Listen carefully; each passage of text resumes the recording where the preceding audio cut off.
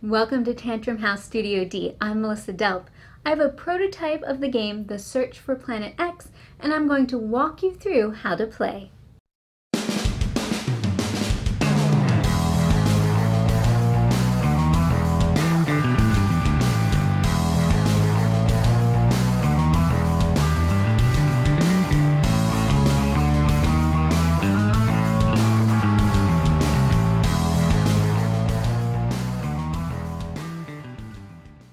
The Search for Planet X is a 2 to 4 player logic deduction game that requires an app to play.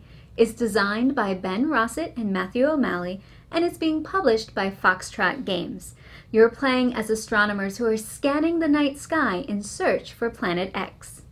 Each game, the companion app will randomly determine the location of planet X and the other objects according to a set of predefined logic rules. For example, there are four asteroid fields, and each asteroid field is adjacent to at least one other asteroid field. That means they'll either be in two pairs or all four together in a band. You'll interact with the app to track objects, do research, and attend conferences. You'll score points by publishing theories and locating Planet X. The player who has the most points will be the more prestigious astronomer and win the game. The following setup is for standard mode. Step 1. Place the solar system board on the table with the standard 12 sector side showing. Orient it so that each player is facing a different side. Step 2. Place the sun board on top and place a sun marker in the hole. Rotate the sun board so the visible sky shows sectors 1 through 6. Step 3. Give each player a note sheet that corresponds to the side of the board they are facing, in this instance, the summer solstice. Also be sure to use the standard side with 12 sectors. Step 4. Each player selects a color and gains the following. Two target tokens, a player screen in their color to hide their note sheet, nine theory tokens in their color. In standard mode, players keep one of the dwarf planet tokens and return the other three to the box. You will need to provide a writing instrument. Step 5. Place the player pawns in sector 1 of the time track. The order should be random. Now it's time to open up the Search for Planet X companion app. Select Start New Game. Choose Standard Mode. Players using separate devices will need to enter the specific game code and join the game. Each player then selects their player color and their experience level. Beginner level is suggested for your first game. The app will give each player different starting information. When it says that an object isn't in a sector, cross off that object on your note sheet. If you're sharing devices, you'll have to select Add another player for other players to get their secret info. Once everyone has their starting information, select Start Game. To understand the gameplay, you need to know the logic for the game, the principles of astronomy. In standard mode, there are 12 sectors. In each sector, there is either one object or it is truly empty. These are the logic rules. There are two comets total, and each comet is located in a prime sector, so 2, 3, 5, etc. And you'll see these on your sheet.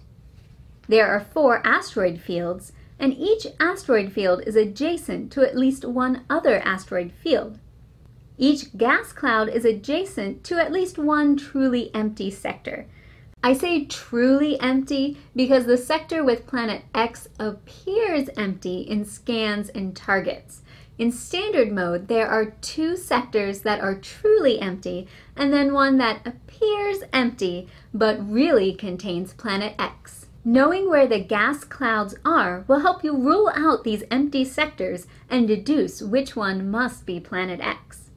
In standard mode, there is one dwarf planet, it is not adjacent to planet X, so knowing where the dwarf planet is might also help you rule out an empty sector or two as planet X. Now it's time to start playing. The player whose pawn is farthest back on the time track takes their turn. A player's turn consists of three steps. The first step is to take one of the four possible actions. You'll state out loud to the other players what you're doing, like I'm scanning for asteroids in sectors 6 through 11. Then you'll complete the action in the app and receive secret information that you do not share with the other players.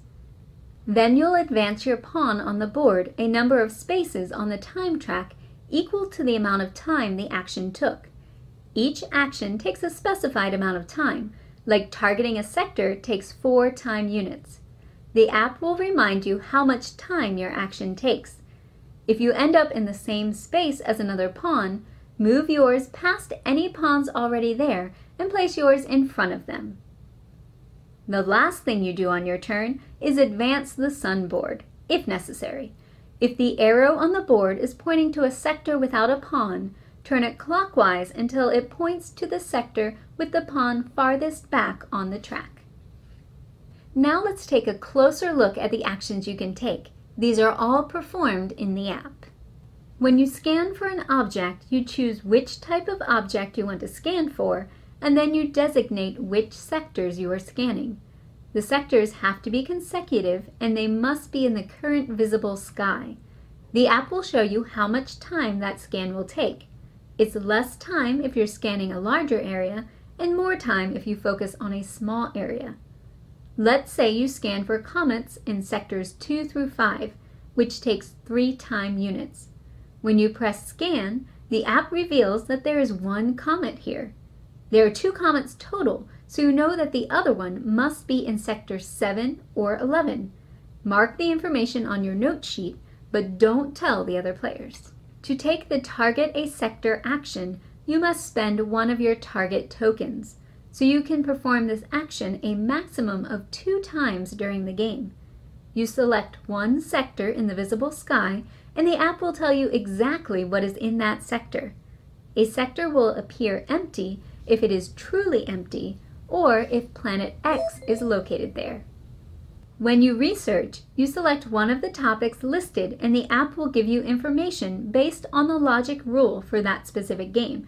For example, if you pick dwarf planets and asteroid fields, it might tell you something like every dwarf planet is within two sectors or less of an asteroid field.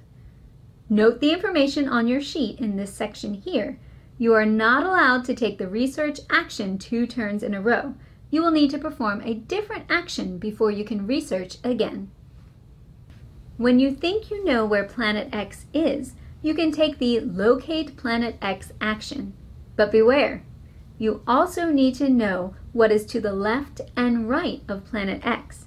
If one piece of information is incorrect, you fail, and you've just wasted five time units. But if you are correct, then you let everyone know that you found it, but not where, and you trigger the end of the game. I'll walk you through the end of the game and scoring a little later in the video. Once you've taken your action, remember to move your pawn and then rotate the sunboard if necessary. This not only changes the visible sky throughout the game, but also triggers theory and conference phases. When the arrow points to this icon, you stop and have a theory phase. Having correct theories about the objects in different sectors is one of the ways to score points. First, each player can select up to one theory token and place it in front of their screen, but covered with their hand so it's not visible to other players. Then, in upcoming turn order, players place their theory face down on the outer space of a sector's peer review track. You can choose any sector, not just the visible sky. Theories from more than one player can go on the same space.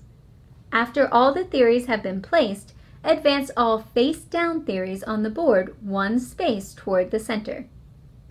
If any theory tokens reach the inner space, you conduct a peer review.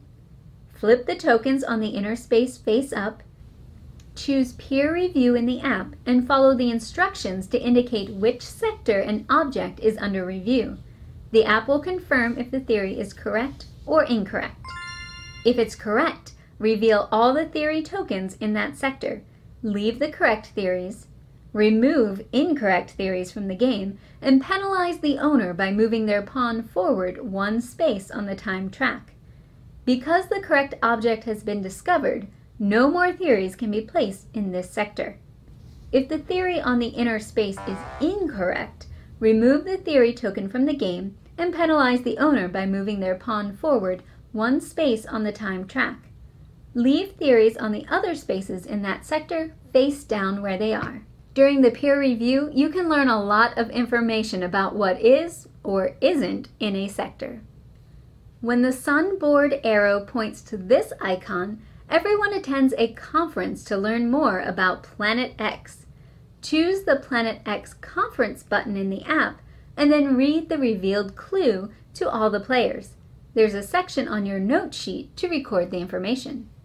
The game continues with players taking turns with whoever's pawn is farthest behind on the time track until someone locates planet X, which triggers the end of the game. Then each player whose pawn is at least one sector behind the player who discovered planet X gets one last opportunity to score points.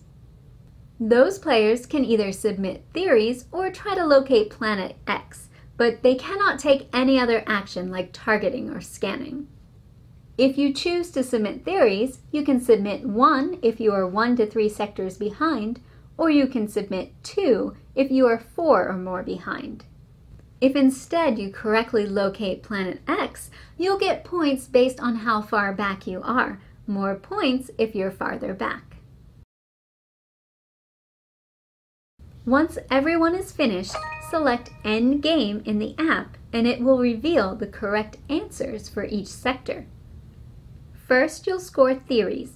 If there are any face-down theories on the board, flip them face up, but keep them in the same spaces. Remove any incorrect theories, and then score the correct ones based on the information on your note sheet. The first, or tied for first, correct theories in a sector earn a bonus point. Count up how many of these bonus points you have and record them first. Then you score points for each of your correct theories, the point value is based on the type of object.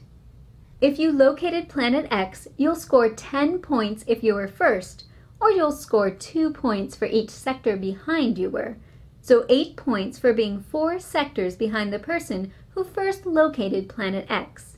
Total up your points, and whoever has the highest score wins. So that's how to play standard mode. If you decide to play expert mode, there are a few differences. The board has 18 sectors instead of 12. You'll use the expert side of the note sheet and add the expert reference guide to your player screen. There are four dwarf planets with some additional logic rules, and there are five truly empty sectors instead of two. Most of the game plays the same, except you can submit up to two theories in each theory phase instead of just one. If you have any questions about the search for Planet X, please let me know in the comments below. Thank you for watching and please like, share, and subscribe.